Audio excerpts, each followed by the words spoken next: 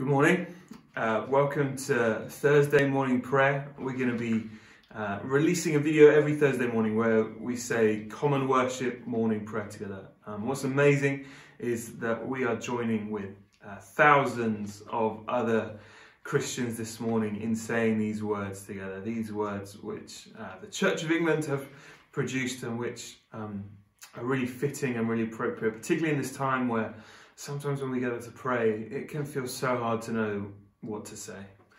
Um, and I think that's one of the gifts of liturgy is that it gives us something to say um, in the midst of uh, such uncertainty. So um, you should be able to find in the comments section a link where you can find the liturgy for the service. Um, if you want to print a copy of that off at home, um, the liturgy is not, the liturgy is not going to change at all. So um, you can print that copy off and it'll be good, good to go. And as I mentioned last week, um, I know there are some of our communities who are unable to access the internet. So I've posted them copies of this booklet. Um, but actually, if you're someone who uh, is watching along online but would still value a printed copy, uh, let me know because I've got a few spares so I can drop one around to you or pop it in the post. So the booklet looks like this. Um, I'll be leading us through. Again, like last time, the words will come up sort of down here in front of me. Um, and those are the bits that we'll say together, uh, yeah, as we go through. So let's take a moment, quiet our hearts, um, and then we'll begin.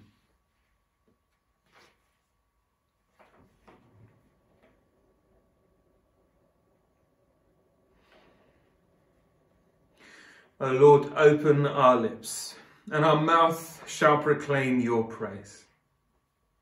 God be gracious to us and bless us, and make his face to shine upon us, that your way may be known upon earth, your saving power among all nations. Let the peoples praise you, O God. Let all the peoples praise you. O let the nations rejoice and be glad, for you will judge the peoples righteously and govern the nations upon earth. Let the peoples praise you, O God. Let all the peoples praise you.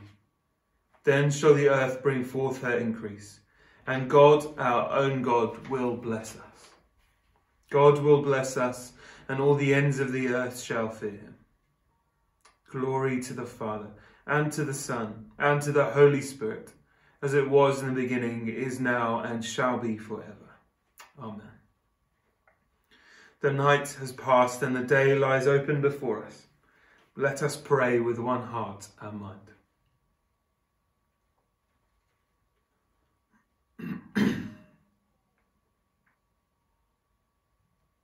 As we rejoice in the gift of this new day, so may the light of your presence, O God, set our hearts on fire with love for you now and forever.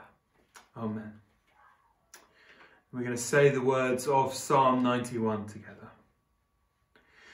Whoever dwells in the shelter of the Most High will rest in the shadow of the Almighty. I will say of the Lord, He is my refuge and my fortress, my God in whom I trust. Surely He will save you from the fowler's snare and from the deadly pestilence. He will cover you with His feathers, and under His wings you will find refuge. His faithfulness will be your shield and rampart. You will not fear the terror of night, nor the arrow that flies by day, nor the pestilence that stalks in the darkness, nor the plague that destroys at midday. A thousand may fall at your side, ten thousand at your right hand, but it will not come near you.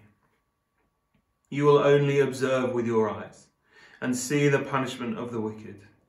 If you say, The Lord is my refuge, and you make the Most High your dwelling, no harm will overtake you, no disaster will come near your tent, for he will command his angels concerning you, to guard you in all your ways. They will lift you up in their hands, so that you will not strike your foot against a stone. You will tread on the lion and the cobra. You will trample the great lion and the serpent. Because he loves me, says the Lord, I will rescue him. I will protect him, for he acknowledges my name. He will call on me, and I will answer him. I will be with him in trouble. I will deliver him and honor him. with long life. I will satisfy him and show him my salvation. Glory to the Father, and to the Son, and to the Holy Spirit, as it was in the beginning, is now, and shall be forever. Amen. Now we say our gospel canticle together. You promised, O God, to save us from our enemies, from the hands of all that hate us. Blessed be the Lord, the God of Israel, who has come to his people and set them free. He has raised up for us a mighty Saviour, born of the house of his servant David. Through his holy prophets, God promised of old to save us from our enemies, from the hands of all that hate us, to show mercy to our ancestors and to remember his holy covenant. This was the oath God swore to our father Abraham, to set us free from the hands of our enemies, free to worship him without fear, holy and righteous in his sight all the days of our life. And you, child, shall be called the prophet of the Most High, for you will go before the Lord to prepare his way, to give his people knowledge of salvation by the forgiveness of all their sins in the tender compassion of our God, the dawn from on high shall break upon us, to shine on those who dwell in darkness and the shadow of death, and to guide our feet into the way of peace. Glory to the Father, and to the Son, and to the Holy Spirit, as it was in the beginning, is now, and shall be forever. Amen. You promised, O God, to save us from our enemies, from the hands of all that hate us. We have today's gospel reading, which is taken from John chapter 3.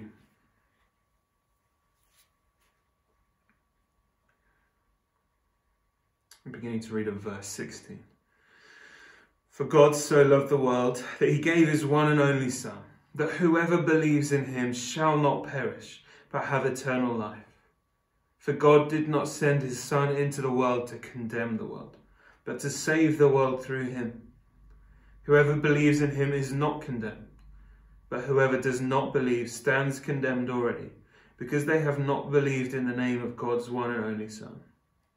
This is the verdict. Light has come into the world, people loved darkness instead of light because their deeds were evil. Everyone who does evil hates the light and will not come into the light for fear that their deeds will be exposed. But whoever lives by the truth comes into the light, so that it may be seen plainly that what they have done has been done in the sight of God. This is the word of the Lord. Thanks be to God. We come to our time of intercession prayer. Um, I'm going to lead us in a few short points for our prayers. Um, but do feel free to pause the video at this point and have a more extended time of personal prayer. Um, yeah, be that intercessory or, or prayer for yourselves at this time. Um, I'm going to lead us through the points that the, the Church of England sets for the day. Um, but yeah, like I said, do feel free to pause the video and, and pray for a longer period. So we begin by praying for the day and its tasks. And God, we lift up to you this day. We lift up to you uh, the day, no matter how we're feeling, no matter whether we've woken up feeling um, energized and, and ready to get on with whatever it is we're planning to do today, or whether it's that we've woken up feeling really anxious and worried, or whether we've woken up feeling utterly drained and want to do nothing more than uh, roll over and go back to bed. I lift up to you the, the small tasks that we might have to do today, or, or whether it's that we have more on and, and kind of over the past few weeks our lives have got more busy rather than less busy. I pray that you would protect us and watch over us this day. Amen. And now we're going to pray for the world and its needs. Father, we lift up to you your world today. Your world that's um, in such turmoil, your world that's, um, yeah, kind of almost come to total standstill because of this virus. And God, your world needs you. Your world needs your healing hand upon it. We pray that you would uh, yeah, deliver this world from this virus, that you would put an end to it now in Jesus' name. God, I pray for um, a spirit of freedom and a spirit of knowing that you are God. Amen. And finally, we pray for the church in her life. God, we lift up your church today. God, I thank you for the ways that your church is responding in this time. God, I thank you for uh, technological giftings that means we can do things online. I thank you for those who have uh, volunteered their time so selflessly to step in to help food banks and and to uh, yeah really be a support and a listening ear and a kind voice to the vulnerable in our churches. God, I pray for your wisdom for Paul, our bishop, and for Justin and John, our archbishops, as they help navigate um, your church through this difficult time. And God, I pray that um, in this season where we are scattered, Lord, you would unite us. Amen.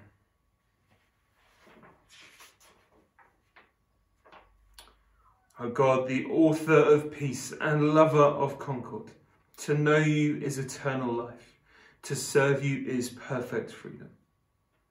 Defend us, your servants, from all assaults of our enemies that we, surely trusting in your defence, may not fear the power of any adversaries. Through Jesus Christ our Lord. Amen. As our Saviour taught us, so we pray. Our Father in heaven, hallowed be your name. Your kingdom come, your will be done, on earth as in heaven. Give us today our daily bread Forgive us our sins, as we forgive those who sin against us. Lead us not into temptation, but deliver us from evil. For the kingdom, the power, and the glory are yours, now and forever. Amen. So, Lord, bless us and preserve us from all evil and keep us in eternal life. Amen. Let us bless the Lord. Thanks be to God. Thanks for joining us this morning. Um, we'll be back next Thursday for morning prayer again. Uh, take care and God bless.